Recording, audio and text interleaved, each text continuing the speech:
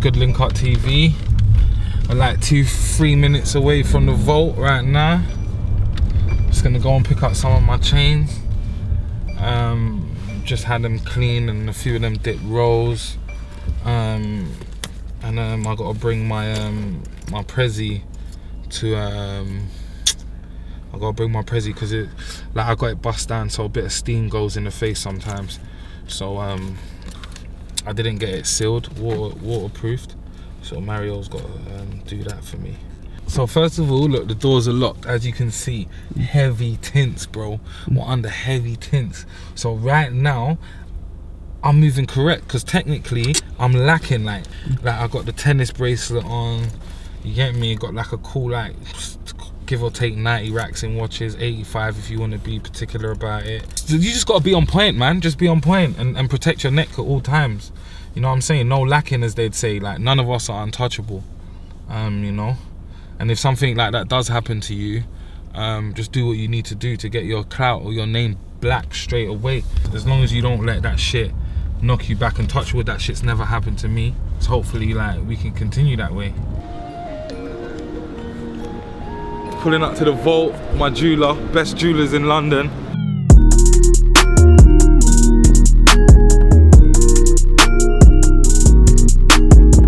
Yeah, so the most expensive piece in my collection right now, I'd say is my bust down rose gold Prezi.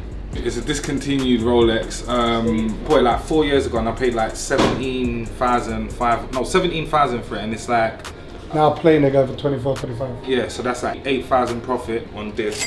And then the bust down, I can't really give you the price, but just know it's all VS1. You know what I'm saying? No S size. These are the most collectible watches right now. Discontinued model, ruby and diamonds, date date two. If you want to invest your money in this, amazing. This one, better than all the plain Janes. They were like 20, 20 bags in like three, four years ago. I didn't, I didn't, I ain't had it this long, that long at all. But I got it on a super good deal, and um, I'm I'm either gonna sell it or do um, do the swap for um, the stainless AP. If you're into jewelry, jewelry's your thing. If you're into cars, some people into property, some people into clothes. Jewelry something I love and that I'm into. Like I design jewelry.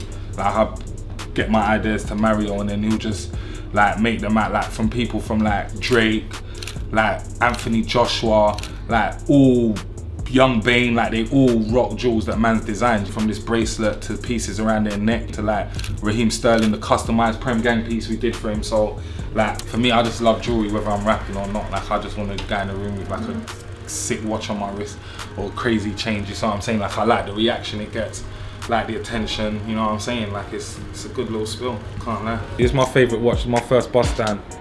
Um, and like one of the first two like proper bust downs like in the country obviously the Vault did it as well. So, and as you can see, I got the tennis bracelet. My birthday is the 27th of April. This is a little tennis rose gold Cartier set. You can see the C, C's and um, whatever you call it to hold the stones. They're like 25 pointers. These are like 30 or 40 pointers on the bezel. The face was originally um, vanilla as well. So this face was done in the kitchen as well. The whole watch has been like super rebust down. I always come across like I'm too much of a show off. I, I just gonna let people judge like, like I know I've been doing my thing for years, like I've been shining, like I said, like I like for me consistency is everything in it and like just keep trying to take it to that next level. Like I'm, I'm happy with my pieces. I know a lot of people like my pieces. I believe like my team and like my close associates like along like with my Jula is like the best in the game like in the UK hands down yeah I do believe that if I have to be honest but I'd like to say that humbly this is obviously inspired by like the death row it so we took the LF and we made like two Mashtown pieces. One's the original Mashtown logo, and then this one's the um, the Death Row logo. As long as you're buying the right pieces, like you can never have enough, innit? As long as you got a roof over your head and, and, your family's taken care of and you're paying your bills, you know what I'm saying? Like if that's your vice, if that's what you're into, you can never have enough jewelry. As long as you're buying the right pieces. I just say don't get caught up in the hype. Do you see what I'm saying? Always look at your gold. Do you see what I'm saying? And always try and like just ask for the best diamonds and speak to your jeweler about watches as well.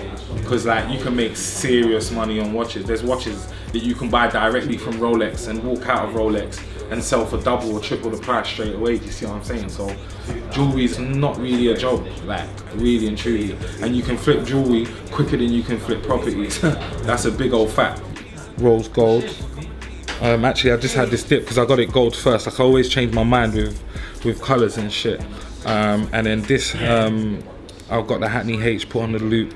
I don't know whether I'm gonna put like white stones or canaries in that. I'm still like indecisive. This is all VVS one as well. D, as you can see, wet, soaking. Well, to be fair, like I only started working with insurance maybe like a year to 18 months ago. Like my whole life I've been just on a limb without insurance. And yeah, there's loads of different ways to like insure your stuff. If you've got the jewels and you've got the bankrolls, I strongly suggest that's something you look into. This is um, SDC Stack the Cash Records. It's part of um, a label I'm with in Switzerland with my twin Rich Wayne. Rose gold, white gold. This was yellow gold, but um, I dipped it rose um, to go with my set. These are all VS1, um, VVS1 Russian cut um, stones. D color, sorry. And then this is the same, but this is like with closer setting, all gold. And this is this is my Achilles Rich Wayne's look. So you see, it's got like the um, the England flag and the Swiss flag second, and his initials. It's important to just just be you, do you, like, and and obviously you shouldn't get caught up in like the hype or whatever not, and definitely get your priorities straight. You shouldn't really be looking to say like, oh yeah, I want to be like Asko, I want to be like Fredo, I want to be like Hypo, like straight away. Yeah, you should 100% like put that work in, put that grind in. Half of these artists, they're just getting litty now and they've been grinding for years. So like I think some of these kids can look at like some of these artists as like a good example. Do you know what I mean? Who are like who have been grinding for years and like are now saying, alright, cool, like fuck it, like let's buy a bit of jewelry or whatever not. What what's the center stones in these, Jay? OGS, that's certificated VS stones. Okay, every stone. Yeah.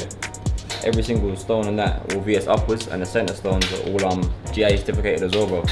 Proper stuff, man. SI is what slight imperfection. Yeah, slight- VS slight is very slight. VVS Yeah, is very very, very, very slight. And then you got flawless. That's Only Floyd. only Floyd and them man that do flawless. And who? Some rapper I saw some interview saying. Don't believe only Yeah, Black Youngster, but I, yo, I, I rock with you, Black Youngster, but I don't know if I believe that you're only doing flawless, but gang shit, you already know. And these ones 12,000 each. 18 karat gold. It's a different kind of drip though, man. bust it down, bust it down. Got the AP just to bust it down. Got the rollie just to bust it down. Got the whole brick and I bust it down. She 10 out of 10, so I bust it down. bust it down. Bust it down, bust it down, bust it down, bust it down, bust it down, bust it down.